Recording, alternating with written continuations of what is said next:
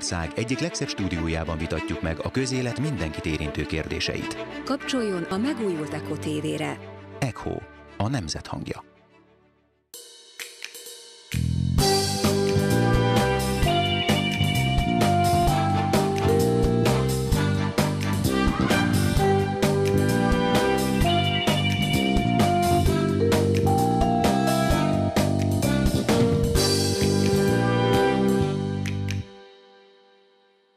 Hölgyeim és uraim! Felkészültek? Ránk hangolódtak? Akkor neki kezdünk. Az Echo TV budapesti stúdiójából jelentkezik a higgadt, mérsékelt és megfontolt házigazda, Bájer Zsolt. Jó estét kívánok! Tisztelettel köszöntöm a kedves nézőket. Itt is, otthon is a képernyők előtt. Vágjunk is bele, sok dolgunk lesz, és ráadásul egy mozival fogunk hamarosan kezdeni, úgyhogy hajrá! De még mielőtt elkezdenénk mozizni, szeretném megkérdezni, hogy, hogy felvetni azt a kérdést, hogy ugye mindenki látta tegnap a magyar gyorskorcsolyázó fiúkat. És ugye mindenki pontosan ugyanazt érezte, amit magam is. A feleségemmel, én megnéztem a élő közvetítést is, aztán, amikor este hazajött az asszony, akkor vagy tízszer megnéztük különböző csatornákon az ismétléseket, és így folyamatosan végig is bőgtük az estét. És egyetlen egyszer sikerült a hangulatunkat elrontani. Föl, elmondanék egy mondatot önöknek, jó, amit tegnap hangzott el. A, a történelem első téli olimpián szerzett magyar olimpiai aranyérme kapcsán egy fékezhetetlen agyvelejű magyar liberális politikus a következőt bírta a Facebookjára beírni, talán önök is találkoztak vele. Két migráns aranyérmet nyert Magyarországnak, köszönjük nekik. Ezt ugye az a Majtényi László üzente az országnak, aki nemrég közös ellenzéki köztársasági elnök jelölt volt. Ugyebár ő azzal is kampányolt, hogy ő majd itten a nemzet egységét meg fogja teremteni szemben Áder Jánossal. És mindjárt így bele is rongyolt a nemzet nagyfene egységé, meg egységébe és boldogságába ezzel a mondatával. Ugyanis, nézzük, ugye ki a migráns? Önök szerint, csak így józan paraszti észre. Az a két félig kínai származású fiú, akik egyébként Budapesten születtek, magyar az édesanyjuk, itt nőttek föl, itt töltötték az egész gyerekkorukat, itt jártak iskolába, itt kezdtek el sportolni.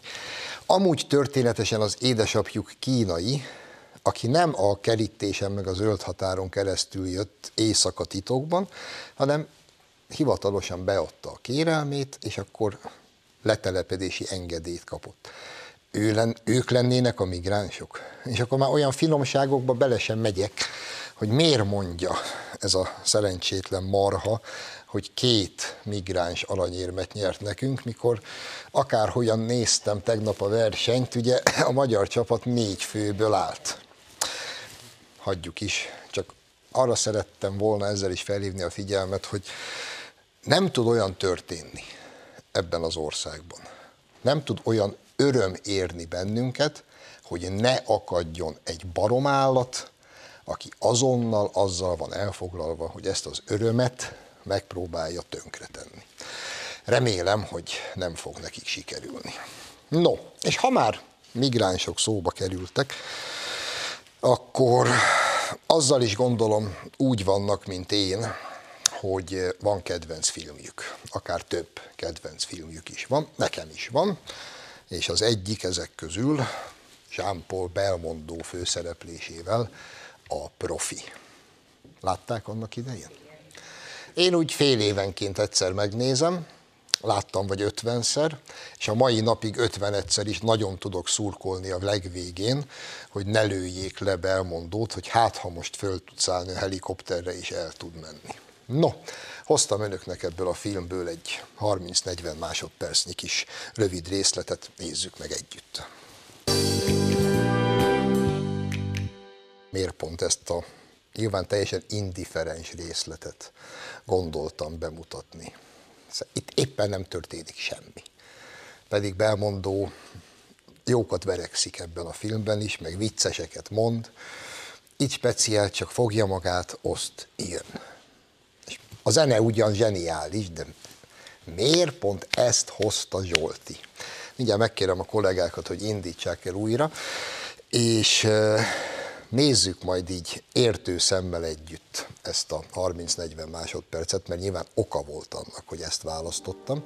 Tehát nézzék erőteljesen, ugye ez az a rész, amikor megszökik Afrikából, a fogságból, Jos Beaumont, őrnagy, a francia titkosszolgálat tisztje, és megérkezik Párizsba. Megérkezik a pályaudvarra, jön végig, figyeljenek erősen.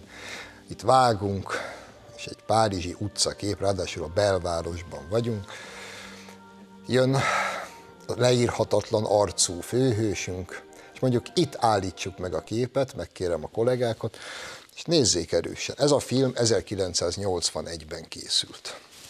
Kérem önöket, hogy számolják össze, hogy hány feketét és arabot látnak a francia utcán.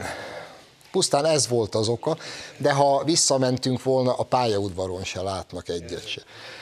1981, az ugye azt mondja, hogy 91, 2001, 11, 37 évvel ezelőtt így nézett ki Párizs. Így nézett ki a, az utca, a belváros, úgy nézett ki a pályaudvar.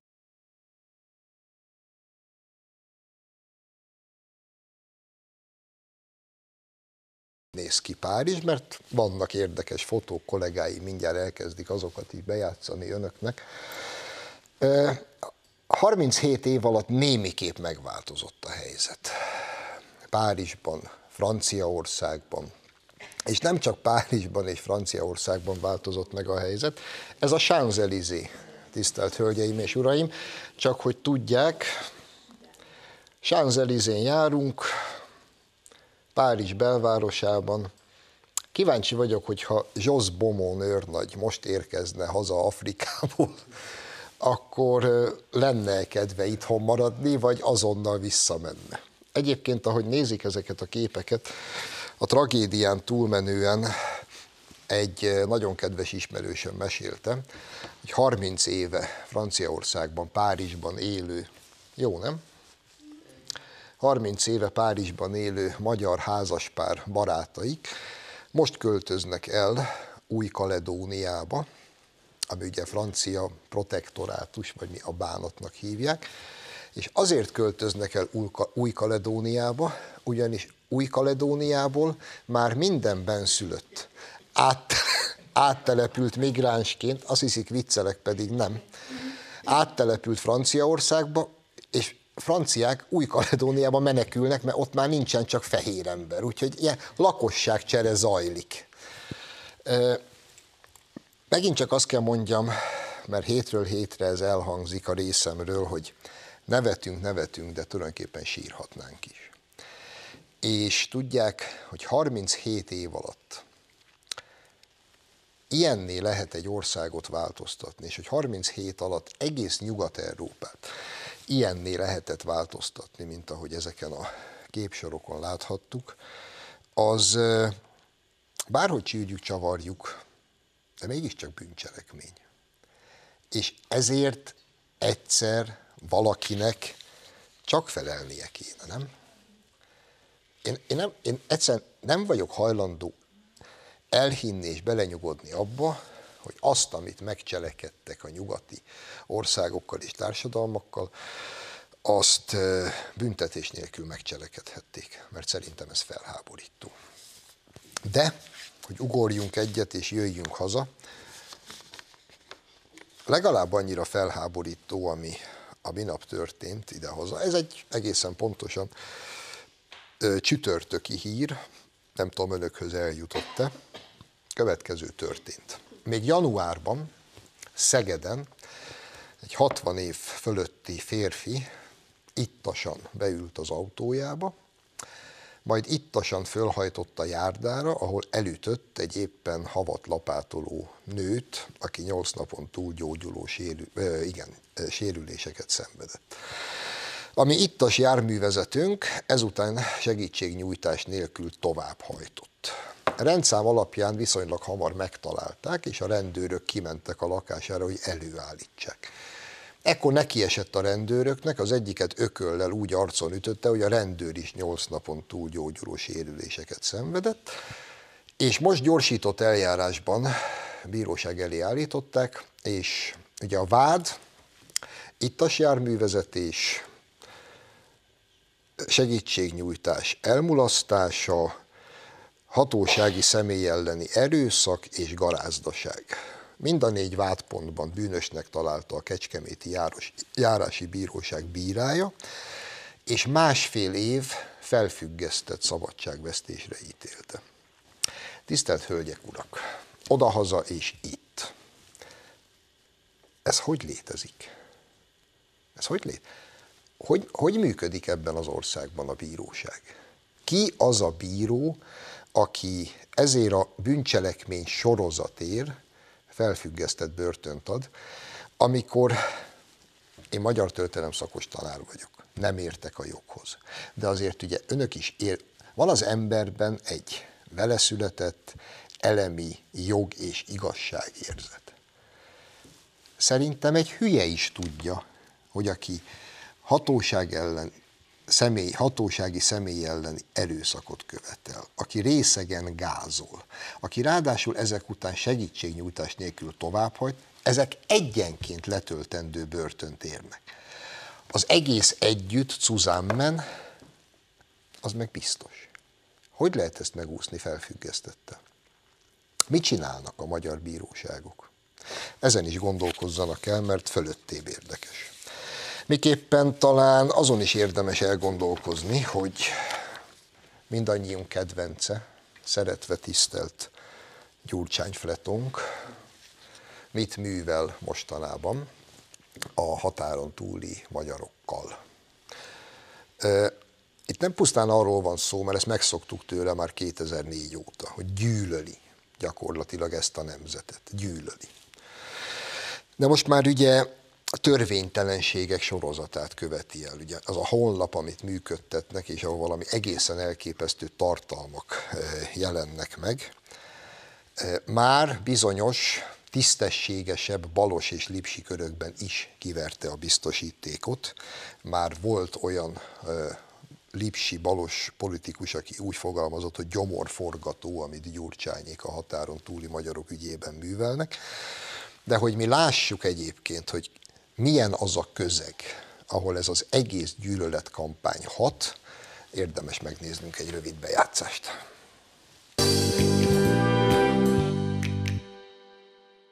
A Gyurcsánypárt aláírásgyűjtésbe kezd, hogy ne szavazhassanak azok, akik soha nem éltek Magyarországon. Így zárnák ki a határon túli magyarokat a voksolásból. Az aláírásra várok közül sokan nem tudták, hogy miről szól a DK legújabb kampánya. Mit fog most aláírni?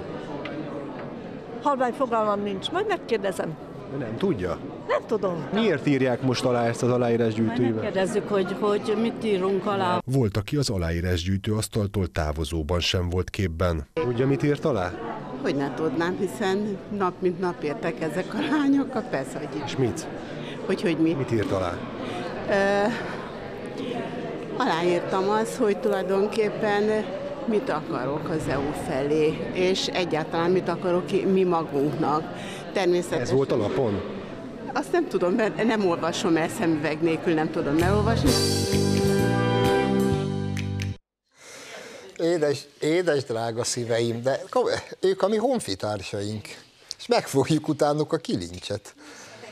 De, de az a tragédia, mondom még egyszer, hogy ez pontosan az a közeg, ahol ez a valóban gyomorforgató gyűlölet hadjárat, ez termékeny talajra hull. Tragédia. De nincs mit tennünk, együtt kell élnünk ezzel. Miképpen együtt kell élnünk Szanyi kapitányjal is. Az se, az se könnyű, lássuk be időnként, sőt soha, de Szanyi kapitány most ismét bebizonyította, hogy egy okos, józan, megfontolt és mindenképpen szeretetre méltó politikus. Kérem szépen a kollégákat, hogy játsszák be Szanyi kapitány legutolsó produkcióját. Erdogánhoz, Adolf Hitlerhez és Stálinhoz hasonlította a magyar miniszterelnököt a Szocialista Párt európai parlamenti képviselője, aki már többször visszautasította, hogy lázítana Brüsszelben hazánk ellen. Szanyi Tibor, aki korábban feldarabolta volna a határkerítést, lerománozta az erdélyi magyarokat, most újságírói kérdésre válaszolva hasonlította a diktátorokhoz Orbán Viktort. Why is Mr. Orbán so popular? In this case, I just would like to give you a short list. Uh, Vladimir Putin is very uh, popular. Uh, Erdogan is very popular. Even Adolf Hitler was very popular in his time. Stalin was very popular, and Kim Jong-un is very popular. Ezt a helyes fiút is ott tartjuk Brüsszelben, etetjük, ő utána is megfogjuk a kilincset. És látszik rajta a fején, teljesen függetlenül az aktuális állapotától, hogy finoman fogalmazzak, hogy ilyenkor ő ezt belülről hozza, tehát ő ezt hittel hiszi.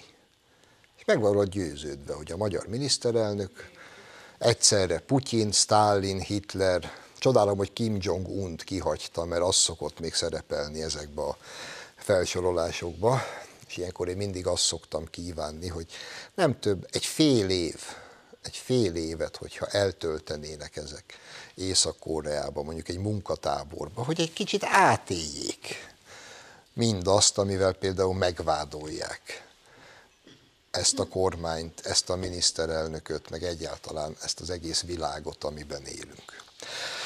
Mindegy, velük is együtt kell élnünk. Ugye múlt héten is a tolerancia és az intolerancia határvidékén jártunk.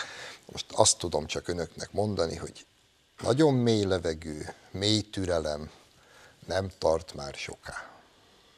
Még 44-45 nap, és ezen is túl leszünk. És aztán majd meglátjuk, hogy négy év múlva találkozunk-e még Szanyi Tiborral.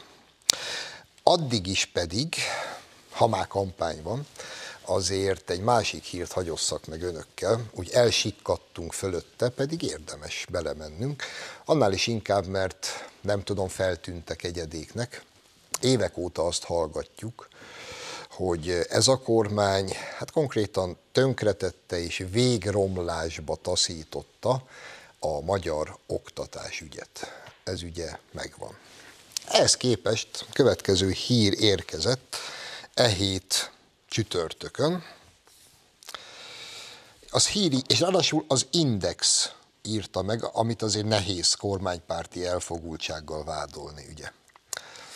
A régióból a magyarok jutnak be legtöbben Oxfordba és Cambridgebe. És akkor hosszan megírják, ráadásul a régióban nem csak a visegrádi négyek tartoznak jelen esetben, hanem az osztrákok is. Ausztria, Lengyelország, Csehország, Szlovákia, Magyarország vizsgálták, hogy ebből az öt országból hány középiskolás, vagy milyen arányban jutnak be ma a világ két legjobb egyetemének tartott Oxford és Cambridge egyetemre. Egészen megdöbbentő, hogy milyen torony magasan magyar középiskolások jutnak be.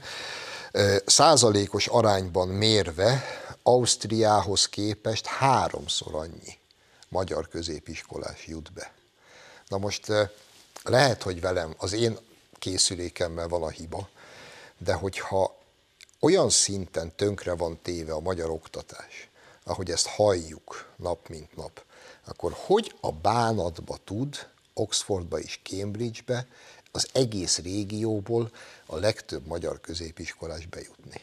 Önök ezt értik? Akkor jó, látom ingatják a fejüket, akkor nem én vagyok teljesen hülye. Vagy Bocsánat, vagy mi mindannyian teljesen hülyék vagyunk. Mindenesetre jó érzéssel rögzítsük magunkba azt a tényt. Tehát az a baj, hogy most itt hirtelen nem tudom a százaléka, a magyar jelentkezők 26 százaléka bejut. Ez az arány Ausztriában 5 százalék, Csehországban pedig 5,8. Csak hogy értsék, hogy itt milyen arányokról beszélünk. Dőljünk hátra, nyugodjunk meg, a gyerekeink nem teljesen hülyék, bár van, van, akik azért járnak tüntetni, hogy ne kelljen annyit tanulni, de lehet, hogy ők nem is készülnek Oxfordba és Cambridgebe. Lejárt az első rész, nagyon szépen köszönöm, hogy velem töltötték az időt. Önök pedig szusszanjanak egyet, és nem sokára jövünk vissza. Vendégem a stúdióban pedig Ujás Gergő lesz, a Fidesz frakció vezetője. Rövid szünet, és jövünk vissza.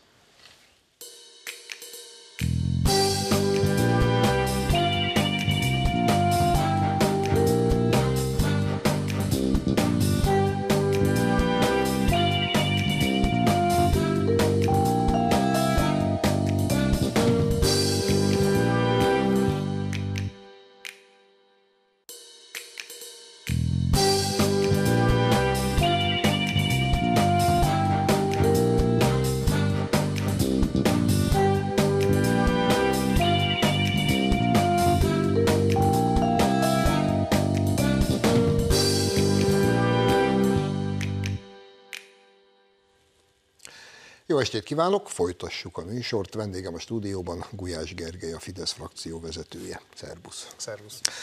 Németországra lennék én most először kíváncsi, ezen belül is főként Angela Merkel eh, politikai változásaira. Ugyebár a friss hír az, hogy a kancellárasszony is beállt abba a sorba, akik fenyegetőznek azzal, hogy a azon tagállamok, akik nem hajlandók befogadni migránsokat, azokat így úgy amúgy meg fogják fegyelmezni, rendszabályozni. E, Angela Merkel most éppen a kohéziós alapokból jutó pénzügyi támogatás csökkentése, megvonása, nem tudom, mindesetre ez most meg van lebegtetve mennyire kell lesz nekünk komolyan venni, első kérdés, aztán majd ehhez lesz hozzáfűzni valóm is, mint B kérdés, és mennyire szól ez befelé, mármint a német belpolitikának. Döntően a német belpolitikának szól, és azért kell komolyan venni, mert azt azért látni kell, hogy ma Európa sok tekintetben Brüsszel, de legalább annyira is egyre inkább Berlin. Tehát a német kormány nélkül fontos Európai Uniós döntések eh, nem születhetnek. Ugyanakkor azt is tudni kell, hogy eh, a következő 7 éves uniós költségvetésről jövő év első felében fognak majd tárgyalni az állam és kormányfők, és ott mindenkinek vétójoga van.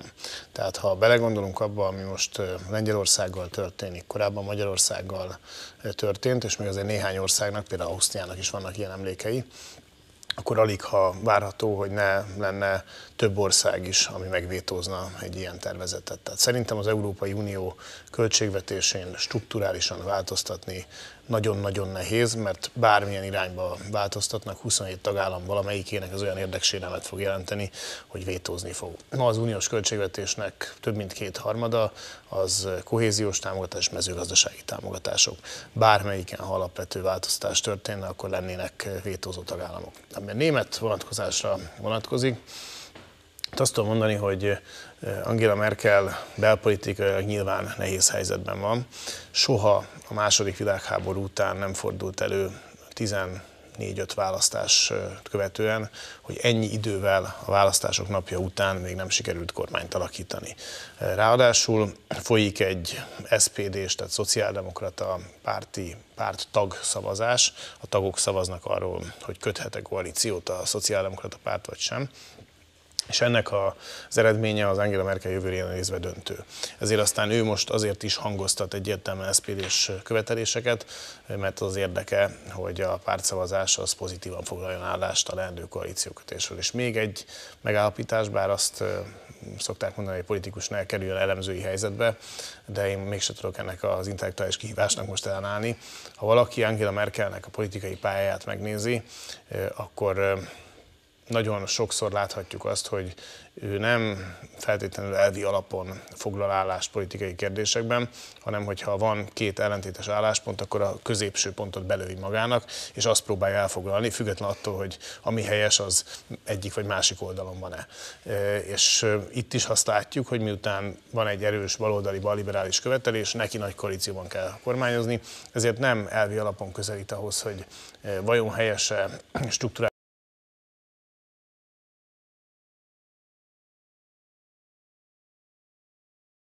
struktúrál kössük össze azzal, hogy ki az, aki a külső határvédelemre képes, és ki az, aki nem.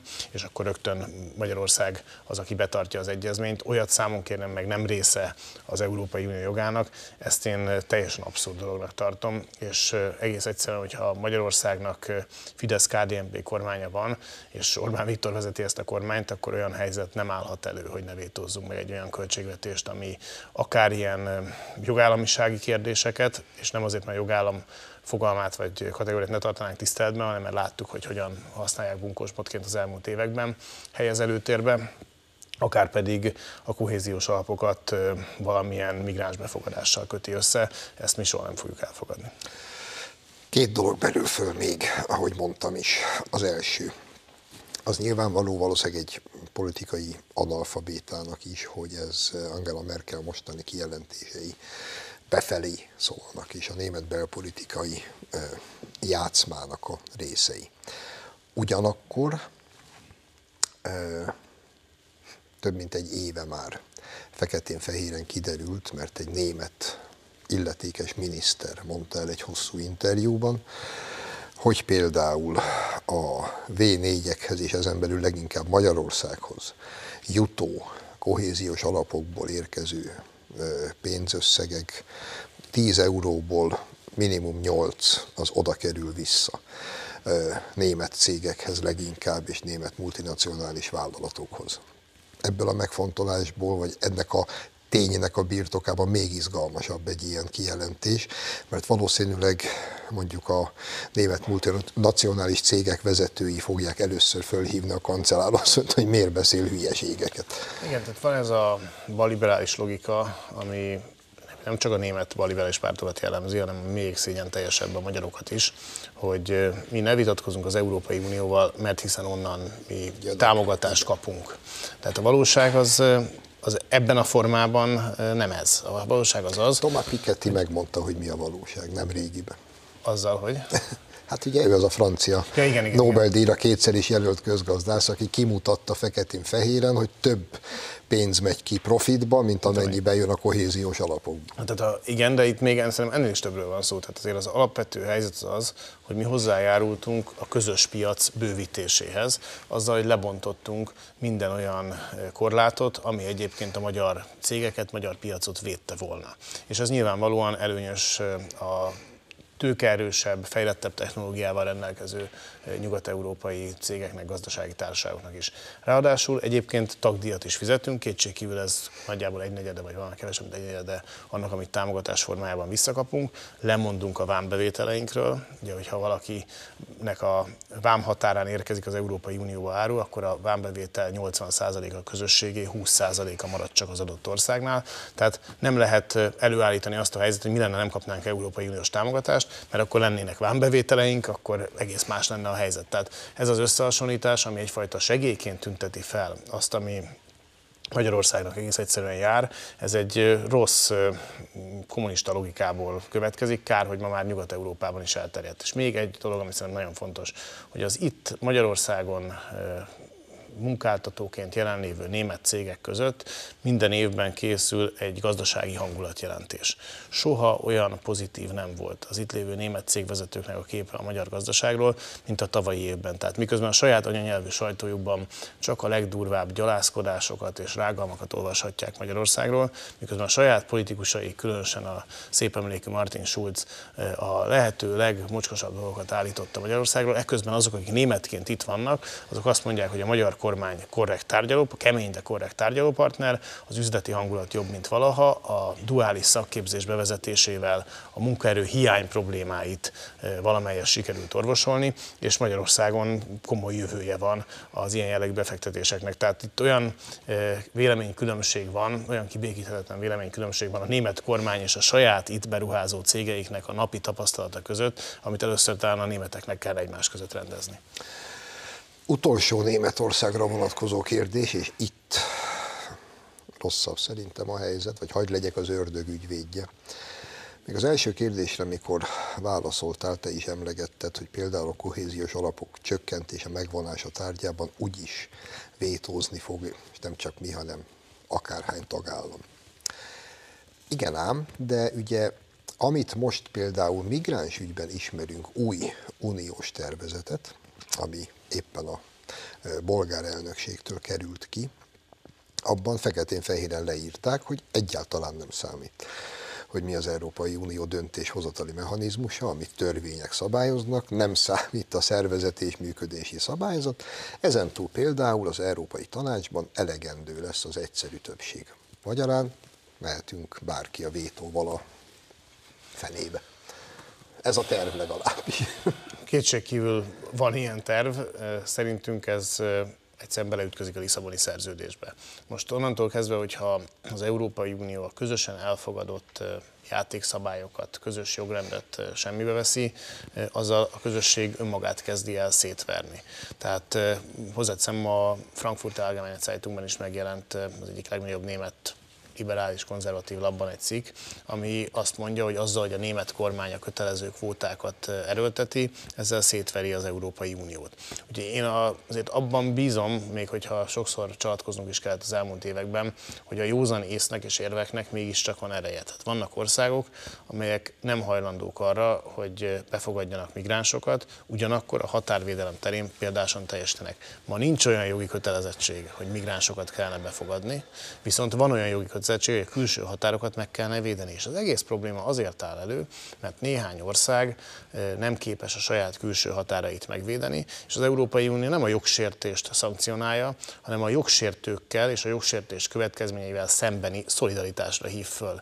Ez abnormális egy olyan közösségnél, ami elvileg a jogalapján áll, és folyamatosan arról beszél, hogy mikor és hogyan sérül a jogállam. Hát akkor sérül az Európai Uniós jogrend, hogyha valaki nem védi meg a külső határait, és az egy probléma megoldás megoldása az az, hogy az Európai Uniónak képesnek kell lennie arra, hogy a külső határokat megvédje, ha egy tagállam ezt nem tudja, akkor segítsünk, de olyan nincsen, hogy valaki meg se próbálja megvédeni a külső határait, majd azt mondja, hogy itt van nagyon sok migráns és szolidaritást követelek Követel, magammal szemben. Osszuk őket szét. Igen. Jöjjünk haza. Meglephetlek egy mondattal? Próbálkozz meg. Ha nem, ha nem, akkor is megleplek vele. A mondat így szól.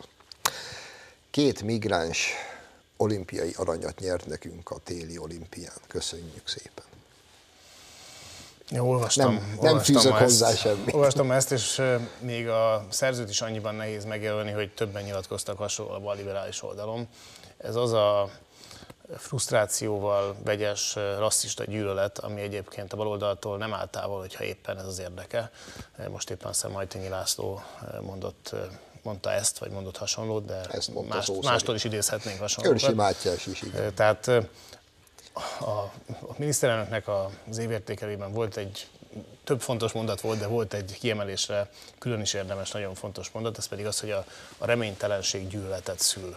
És miután ezek az emberek vagy egykor volt politikusok, vagy most éppen politikai pályára készülők, majd én László köztársasági elnök jelöltje volt a LMP-től Gyurcsány Ferencig egymással összeülelkező baloldalnak. Ezek az emberek azért, mert nem talál vízhangra a saját véleményük a magyar társadalomban, nem éreznek maguk mögött társadalmi támogatást, ezért ez olyan frusztrációt és gyűlöletet vált ki belőlük, hogy egy az magyar sporttörténelem első olimpiai aranyának nem örülnek, nem egy közös nemzeti örömnek tartják és teljesítménynek tartják nyilván az ő teljesítményük, de közös nemzeti büszkeségnek tartják azt, hogy már a téli olimpián is sikerült Magyarországnak aranyérmet nyernie, hanem egy egészen elképesztő a kormány által vallott logikával semmilyen mértékben össze nem egyeztethető logika mentén megpróbálják a kormány gyalázni egy magyar olimpiai aranyérem kapcsán. Én ezt a gondolkodásbeli perverzitást, ezt nagyon károsnak és veszélyesnek tartom, és jól mutatja azt, hogy vannak olyanok, akiknek, akik más keretek között gondolkoznak, és semmi nem szent nekik, amit mi annak gondolunk. Igen, és hát a, a nézőink kedvéért is azért, ha már ráadásul egy jogásszal ülök egy stúdióban, beselkedjünk már egy kicsit neki, magának a migráns fogalmának. Tehát Liu Shaolin Sándor és a testvére, akik Magyarországon, Budapesten születtek, magyar az édesanyjuk, és egy kínai bevándorló az édesapjuk. ők milyen jogértelmezés szerint számítanak migránsnak? Nyilván semmilyen. Tehát de ezt az ezt is tudja, tehát az is tudja, Majtényi Lászlóról sok mindent lehet mondani, de hogy a jog alapvető elveivel, vagy az állampolgárság alapvető elveivel ilyen szinten ne legyen tisztában, ezzel nem vádolna meg őt. Ő tisztában van vele. Csak a saját frusztrációját és a magyar kormányal szemben érzett gyűlöletét, azt olyan mértékben tette a saját mindennapjai részévé, hogy egy olimpiai bajnokságot nyer Magyarország először a téli olimpiák történetében, ő akkor is erre úgy próbál reagálni, hogy az a kormánynak ártson, vagy valamilyen gyűlöletet vigyen egy örömteli, büszkeségre okot adó eseményre. Jó, akkor szerinted mondjuk ez a fajta Majtényi Őrsi Mátyás által megfogalmazott kijelentés, ha csak áttételesen is, de összefüggésbe hozható-e például a DK-nak azzal az, most már nyugodtan mondhatjuk, penetráns, de ez hagyján, de törvénytelen akciójával, amelyel most már effektív megpróbálnak minden aljas, ócska, lumpenproli gyűlöletet felkorbácsolni a határon túli magyarok ellen? Hát, szerintem könnyű összefüggésbe hozni a kettőt, mert azonos ideológia alapon áll. Van benne egy öngyűlölet, vagy ha úgy tetszik, akkor magyar gyűlölet. Tehát az az alapállítása a demokratikus koalíciónak, hogy az, hogy a magyar nemzet egységes, ez nem fogadható el. Míg mi azt gondolnánk, hogy lehet, hogy sok más területen nem értünk egyet, de hát magyarként ez egy olyan alapvető legkisebb közös többszörösnek kell, hogy legyen a, a politikában, ami nem képezheti vita tárgyát. A demokratikus koalíció, de inkább mondjuk azt, hogy Gyurcsány Ferenc, mert a demokratikus koalíció szerintem mint párt nehezen értelmezhető, de Gyurcsány Ferenc mindig mindent megtett azért, hogyha a pártpolitikai hasznot vélt, vagy lehetőségét vélte látni, akkor akár a magyar nemzet határon minden és túli részét egymásnak ugrassza, mindent megtett azért, hogy ártson annak a nemzetpolitikának, ami határokra való tekintet nélkül egyformán kezel minden magyart. És erre jó példa az, hogy Gyurcsány Ferencék egy gyűlöletkampányt indítottak a választói, határon túli választójog, választójog ellen is.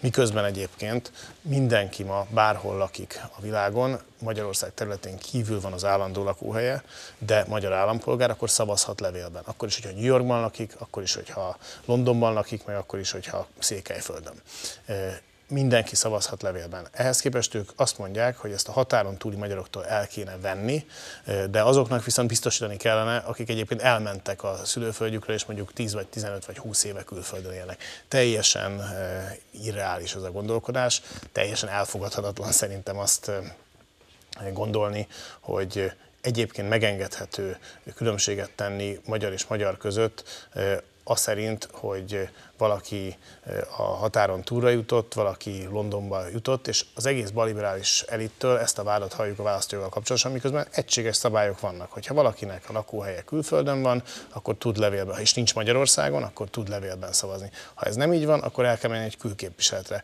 Ehhez képest, amikor az egyik oldalon vádakat fogalmaznak, meg a legdurvább vádakat, hogy ki akarunk rekeszteni a választójogból valakiket, a másik oldalon pedig eh, ezt ők tennék meg azokkal a magyarokkal, akik soha nem költöztek el, eh, hanem a a magyar történelem tragikuma miatt egy külföldi országhoz tartoznak, vagy már a felmenőik tartoztak oda, és ők már ott születtek. Nagyjából annyi időnk van, hogy ezt az utolsó témát még meg tudjuk beszélni, amivel az első részben a kedves közönséget már megörvendeztettem, és előre bocsájtom, tudom, eleve nem nagyon illik bírósági ügyeket főleg döntéseket kommentálni, legalábbis ez egy ilyen szent tehénnek tűnik a, a, a jogállamban, de történt most egy dolog, amiért nem tudok elmenni, és nagyon kíváncsi vagyok jogászként is a véleményedre. Még az is lehet, hogy meg tudsz győzni, hogy minden rendben van. Az történt, hogy egy 61 néhány éves ember valamikor január elején Szegeden, ittasan, fölhajtott a járdára, ott elütött egy éppen havat lapátoló nőt. Segítségnyújtás nélkül tovább hajtott. A nőnek nyolc napon túl sérülései keletkeztek. Tehát ittas járművezetés, cserben hagyás. Rendszám alapján beazonosították, kimentek érte a rendőrök, ekkor neki esett a rendőröknek, az egyiket úgy ököllel arcon ütötte, hogy a rendőr is nyolc napon túl gyógyuló sérülés szenvedett. Gyorsított eljárásban a Kecskeméti Járási Bíróság elé állították, ahol másfél év felfüggesztett börtönt kapott. Hagy kérdezzelek meg, mint jogászt, és kettő percet lesz válaszolni. Ittas járművezetés, cserbenhagyásos gázolás, hatósági személy elleni erőszak plusz garázdaság, ez hogy tud másfél év felfüggesztett börtön lenni? A, bár nem akarok a büntetőjog tudarának tűnni, mert én döntően eh, polgári joggal foglalkoztam, én meg semmilyen joggal, de szerintem de, ez nem, ez nem, tud, nem a, tud megállni. Igen, de a, de a józanész alapján e, ilyen nincs. Tehát a helyzet az az, hogy most nem akarok itt amerikai példákat hozni, de hogyha ez illető ott megpróbálna, már nem lenne életben. Ez a, előtte volna, mert a rendőr volna. A másik pedig, hogy ez egy olyan halmazata a bűncselekményeknek, ami nyilvánvalóan több éves végrehajtandó szabadságvesztését kiáll. Nem tudom, hogy jogerős az kiállt, nem tudom, hogy jogerős gondolom az ügyészség felebbezett. Bízunk abban, hogy másodfokon, amikor három büntetőbíróból álló tanács jár el, akkor ott talán a jogi szempontok mérlegelése jobban sikerül, mint ahogy az első fokon sikerült. Igen, ugye az a baj, hogy ezek nem önmagában érdekes ügyek, mert tudom, egy 60 fölötti embernél még lehet, hogy a bíró azt mérlegelte, hogy leírt 60 évet, büntetlen előéletű, itt egyszer elment az esze. De akkor is, hogyha, egy, ahogy te is fogalmaztál, egy ilyen halmazati bűncselekmény sorozatot meg lehet úszni, akkor jövő héten egy 20 éves is meg fogja úszni. Hát, Ez gyakorlatilag felhívás keringő. Igen, és van egy másik nagy veszély is, az pedig az, hogy az igazságszolgáltatásnak természetesen nem a társadalmi közizlésnek megfelelően kell dönteni minden egyes esetben. De alapvetően, hogyha rendszeresen tapasztaljuk azt, hogy bírósági döntések azok a társadalmi értékítélettel, értékvilággal állnak szembe, fordulnak szembe, azért baj, mert az valóban az igazságszolgáltatásba vetett bizalmat ássa alá, és ezért azt látjuk, hogy az utóbbi időben más példát is lehetne hozni, akár például személyiségi jogi döntéseket, akár büntető ítéleteket, hogy sokszor nagyon-nagyon távol van a társadalomnak az értékítélete, és most nem a jogi megítélésről beszélek, meg a bíróságnak a döntése. Köszönöm szépen, hogy itt voltál. Köszönöm. Önöknek köszönjük a megtisztelő figyelmet, messzire ne menjenek, mert mindjárt kezdődik a híradó, velem pedig jövő héten a szokott időben találkoznak. Viszontlátásra!